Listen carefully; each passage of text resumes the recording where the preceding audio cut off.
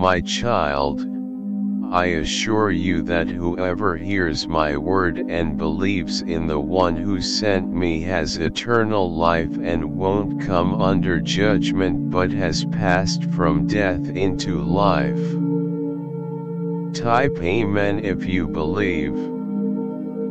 Hell has no exit but heaven has one door and it is Jesus. But how do you enter into heaven? The only way is, accept, and believe in Jesus Christ as Lord and Savior while you are alive. There is no other way. Type 222 if you are going to accept Jesus. Let us pray. Lord Jesus, I firmly believe that you will intervene in every circumstance in my life and grant me a divine resolution. Father, you fix the earth and I believe you can fix my life.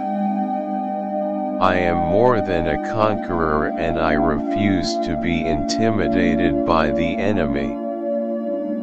I declare breakthroughs in my life.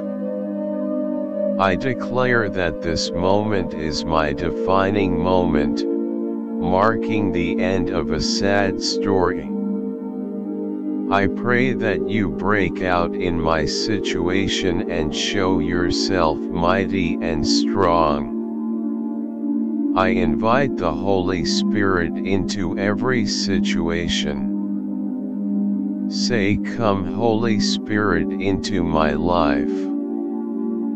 I bring my source of money before you Lord, shatter every devourer against my income, open new avenues of aid, and establish a connection that will last forever. Fear may be a strong emotion that can keep us from moving forward and living our best lives. It can make us feel pressured, anxious, and overwhelmed, and it can even result in physical symptoms like a racing heart, trouble breathing, and stomach problems. It's normal to feel fear in some situations, but fear can also lead us to make poor choices and miss out on opportunities. However, it's crucial not to allow fear control us or keep us from living because it may push us to take action and defend ourselves or prepare for future danger in some of these scenarios. The proverb Our lives do not succumb to fear. Even though it's normal to feel fear in some circumstances, fear can also drive us to take action and defend ourselves or prepare for potential danger. It's important not to let fear control us or keep us from living, however, as this will only lead to poor decisions and missing out on opportunities. The phrase our lives do not yield to fear can be found in the Bible, notably in 2 Timothy chapter 1 verse 7, which reads, for God hath not given us the spirit of fear but of power and of love and of a sound mind. This scripture serves as a reminder that fear is not a natural emotion. But as a believer you are expected to allow the Holy Spirit of God to lead you away from fear. In these end times we must take the advice not to give in to fear because more than anything the enemy is pouring out the spirit of fear because of the mass disaster it can cause. People are scared to make great decisions that can move their lives forward because they don't see any good in the future. Accommodation prices, gas prices, transportation, food, and everything seem to be increasing daily. Aside from that, we see people avoid marriages because of the sad marriages they see. We see people trying to become islands. Because they're scared that friends can betray friends. Everything just seems to be going in the wrong direction. As believers we ought to know that this is the spirit of fear at work. For everything good we try to avoid it. Because we don't know what the outcome will be we deny ourselves from gaining something beneficial. The devil will use the media and everything to keep us in bondage that's why he puts so much negativity everywhere because he knows that what you see and hear will affect you. Now we see the importance of what the Bible says in Proverbs chapter 4 verse 23 it says guard your heart with all diligence for out of it are the issues of life. The spirit of fear works through what we see and hear so it's important to block these channels so we can avoid giving in to fear. How can we block these channels? The Bible says instead of the spirit of fear, God gave us three things. So when we focus on getting these three things we will be able to avoid fear the first of these is power. Luke 10 verse 19 says Behold I give unto you power to tread on serpents and scorpions and over all the power of the enemy and nothing shall by any means hurt you. Since fear is one of the sure tools of the enemy it's important to make sure you keep fear out of your life by exercising the power God has given you. You must realize that you have power over fear because fear is an enemy you must not let fear control you instead. You control your fears. The second one is love. 1 John 4 verse 18 says such love has no fear because perfect love expels all fear. If we are afraid it is for fear of punishment and this shows that we have not fully experienced His perfect love.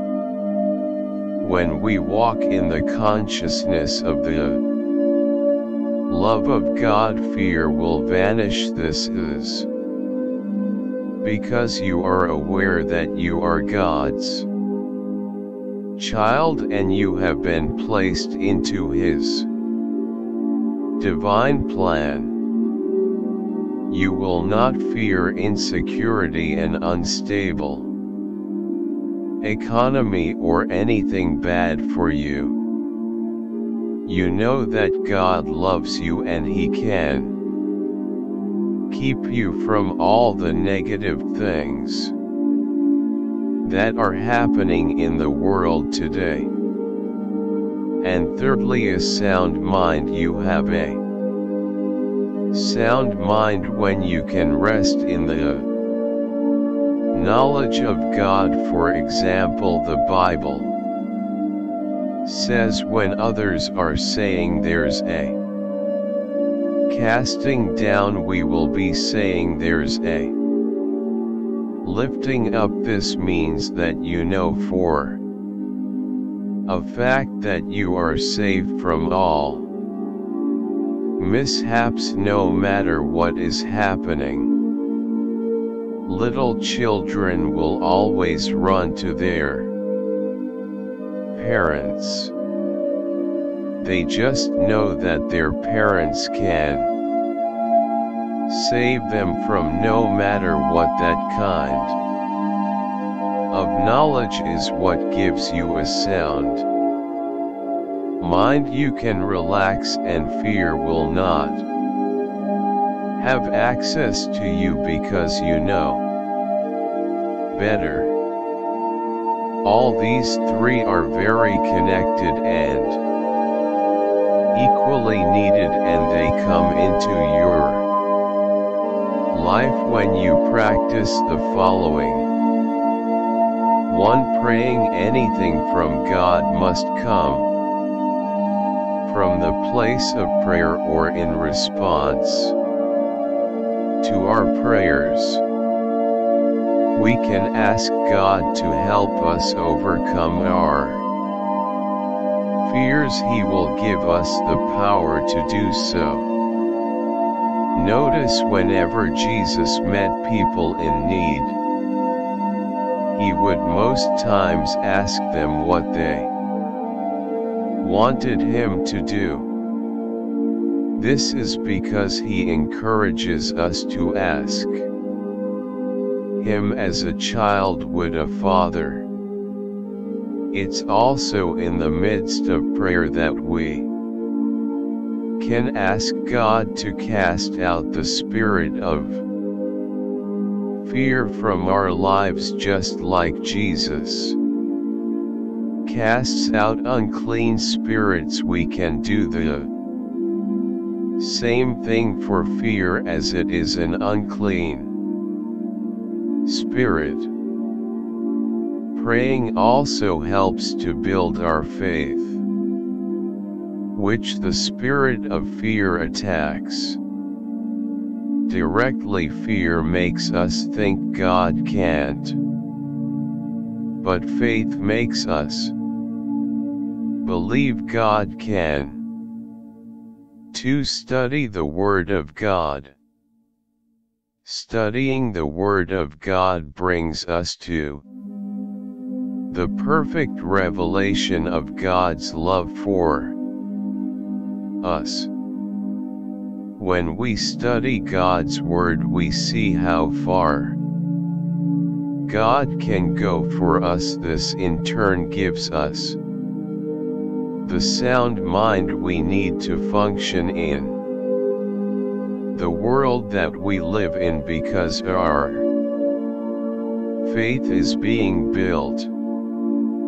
The Bible says we shouldn't be conformed to this world that means we shouldn't think or act like them it means we shouldn't panic even though it looks like all odds are against us but it tells us that renewing our minds should transform us.